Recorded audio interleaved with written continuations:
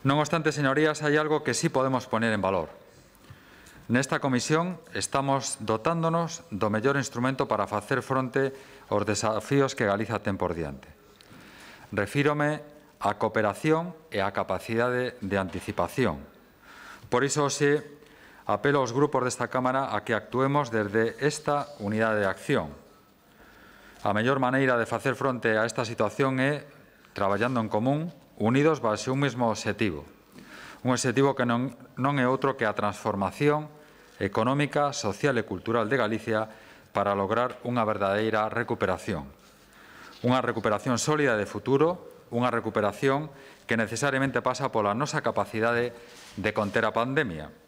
Dese equilibrio entre a contingencia sanitaria e a recuperación económica e social dependerá boa parte do éxito das decisións que estamos adoptando e que imos adoptar.